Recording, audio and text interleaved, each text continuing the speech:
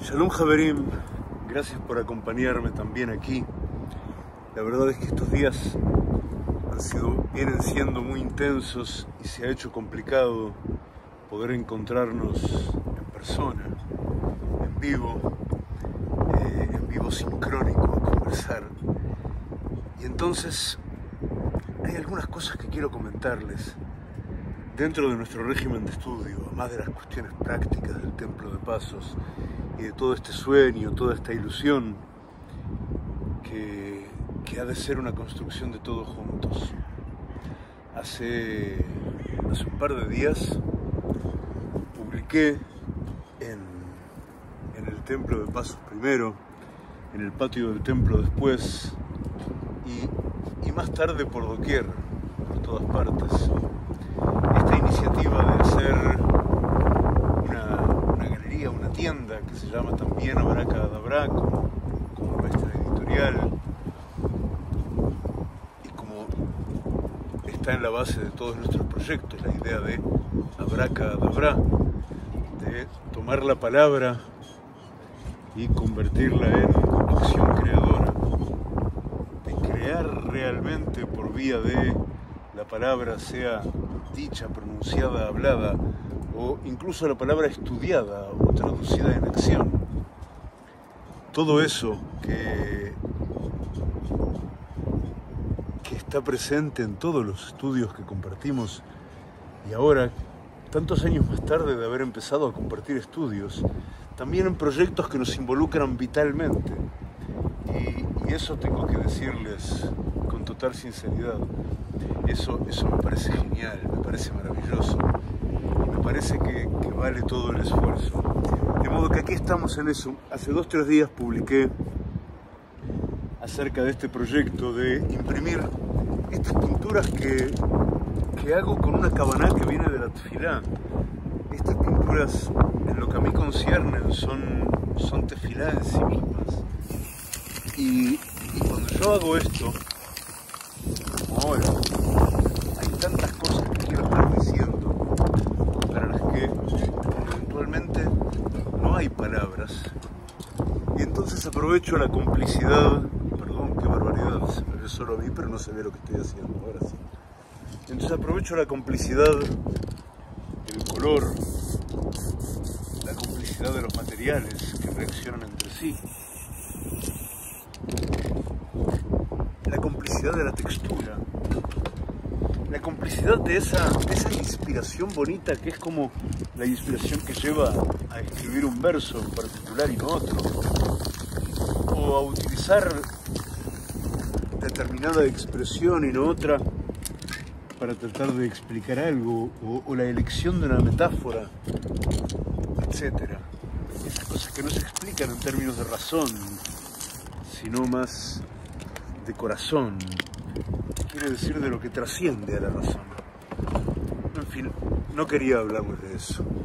Quería decirles que hace unos días cuando presenté esto en el Templo de Pasos, una de las primeras reacciones que hubo, la primera acaso, fue la de nuestra amiga Iolexis, que enseguida puso misteriosamente como comentario Tehilim 145.16, que no es un mal comentario. Tehilim 145.16 es un precioso comentario porque alude a uno de los versos más importantes, no solo de Tehilim, sino de toda la literatura sagrada. Y algo que tiene muy de especial es que se ha convertido en uno de los versos más importantes de toda la literatura sagrada, aún, aún cuando yo me, me atrevo a decir, y, y, y prometo que no es falta de humildad, y lo vamos a ver a continuación, que yo creo que en general lo que se entendió de ese verso queda muy pero muy por debajo de lo que ese verso tiene para decir, para darnos, para donar, para edificar en nosotros. Nunca trabajé con sprays tan cómodo como en este lugar donde hay el viento marino. Es maravilloso. Entonces, el olor de esto y los gases que esto libera, que realmente nos obligan a trabajar en esto enmascarados, este, aquí tengo la sensación de que es muy, mucho menos importante, porque todo vuela rapidísimo lejos de mí.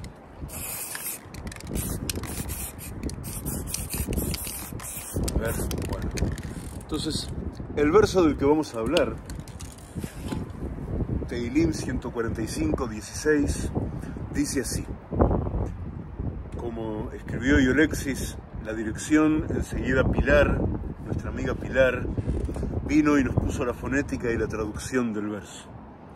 En hebreos el verso dice así, Potea deja o maspía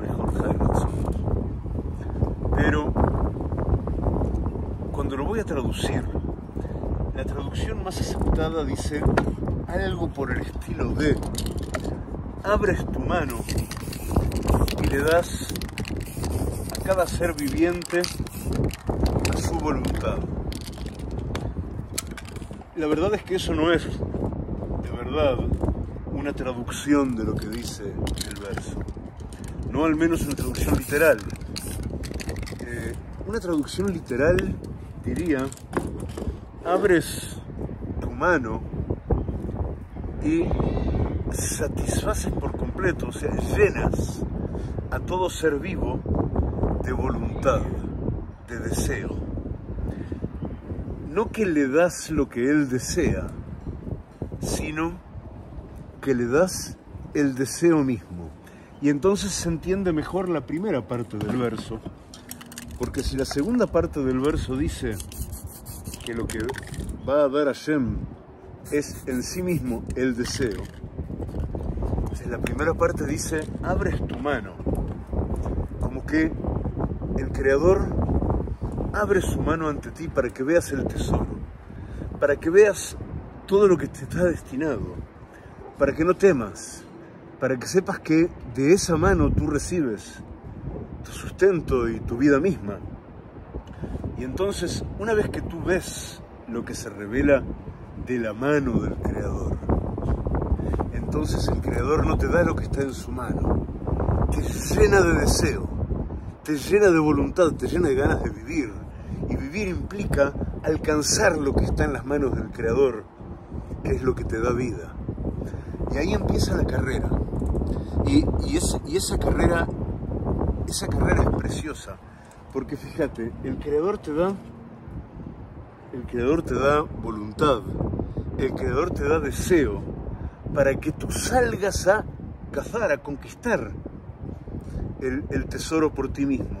Y esto me hace acordar a un verso de Mishlei, en el capítulo 21, verso 31 de Mishlei, dice, Sus mohan leon milhamá bela Adonai hateshua es otra simetría idéntica.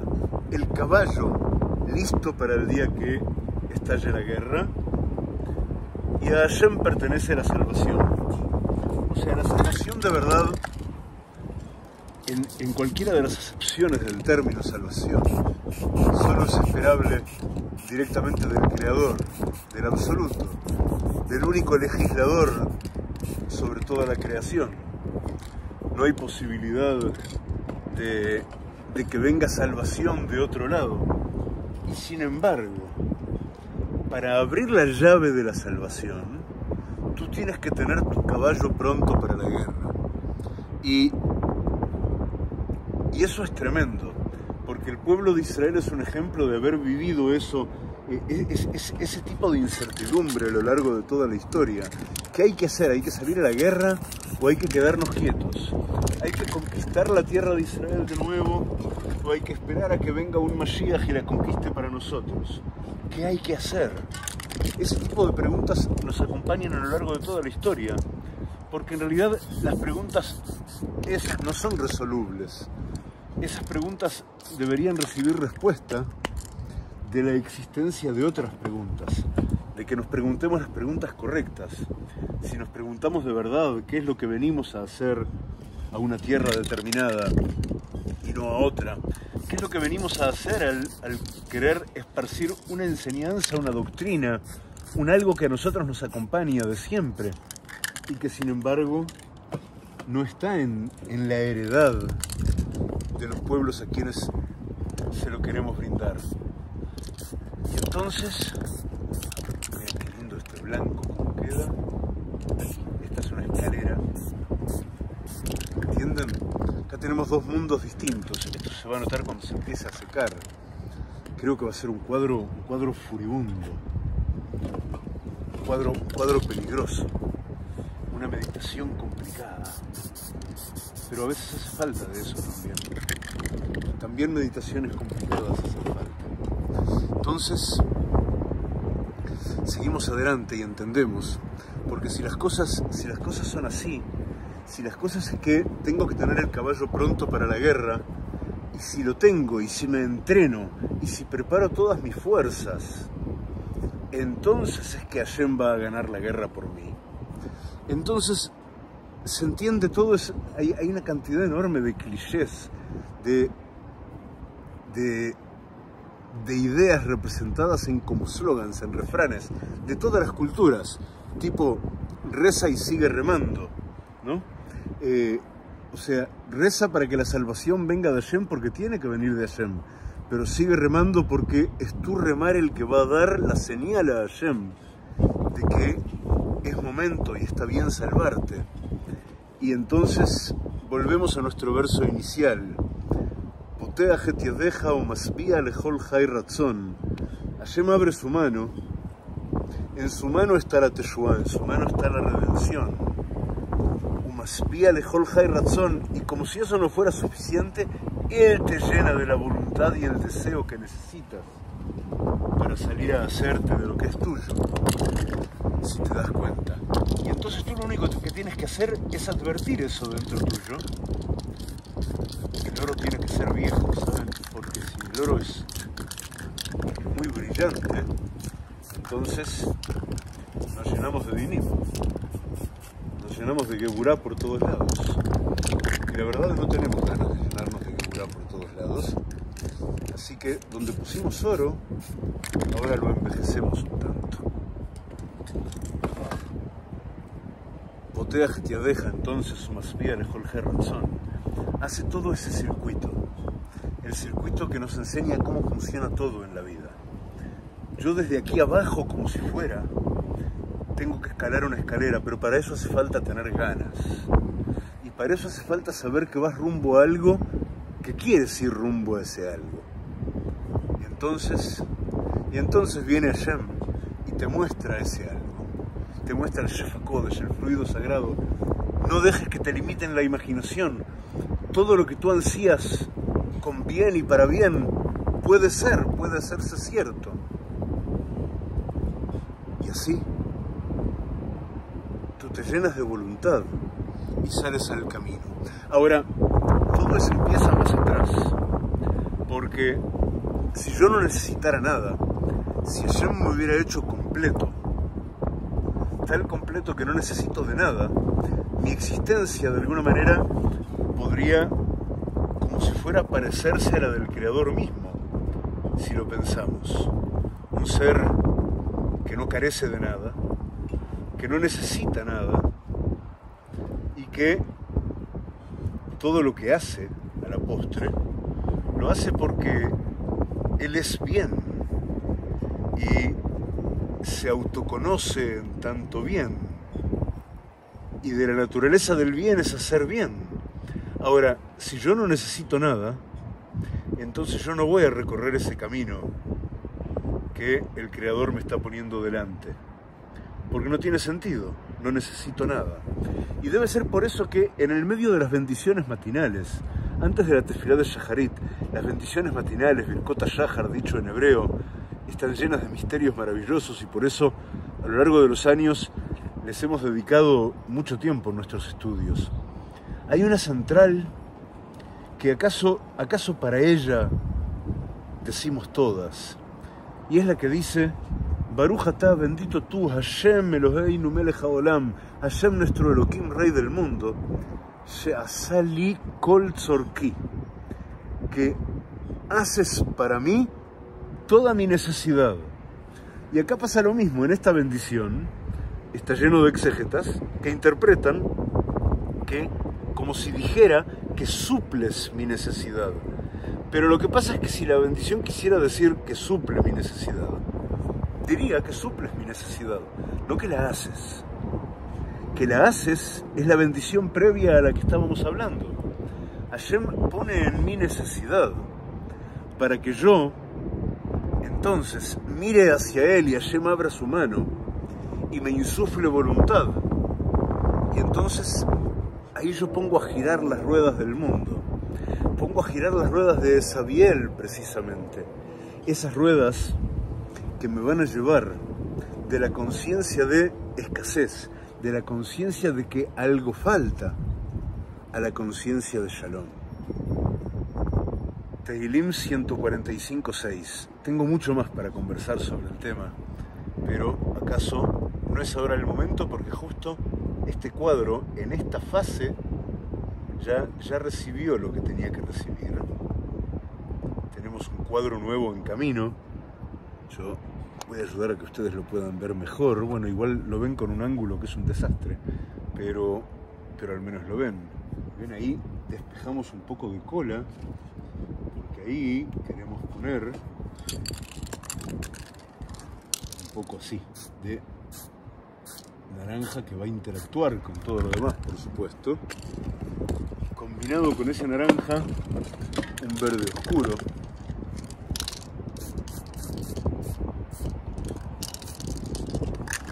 Así que lo que ocurre es que Iorexis nos regaló una bendición para el emprendimiento, nuevo. Espero que todos hayáis visto el video y hayáis entrado a la tienda, porque la verdad es que nos anima a hacer eso eh, un, amor muy grande. Eh, es el modo más, más hábil, inteligente, creativo, práctico y poco costoso que he encontrado hasta ahora de poder poner en manos de todo quien así lo quiera copias impresas de estos cuadros que hago, que son producto de tefilá, sintonía de amor. Todo eso. Ay amigos, qué lindo, qué lindo, qué lindo compartir con ustedes. Entonces, Sali Kol Tzorki, al inicio mismo de mi día, yo agradezco al Creador y lo bendigo, porque Él hizo toda mi necesidad. Porque si yo no experimentara esa necesidad, nada me despertaría a cumplir mi cometido en este mundo.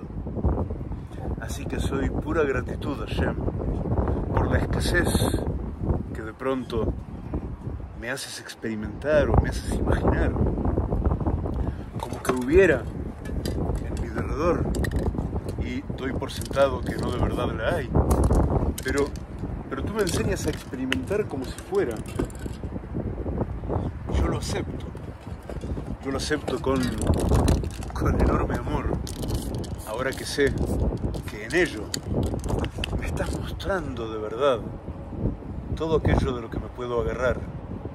Todo aquello que va a redundar en, abrir los conductos de luz entre tú y yo, de modo tal que yo siempre pueda elevar mi gratitud y mi corazón esté abierto ante ti para ofrecerme solo lo que es justo para mí, solo aquello en lo que voy a ser bueno y guiar hacia allí, más vía el y razón cuando me llenas de voluntad, que sea voluntad de esa.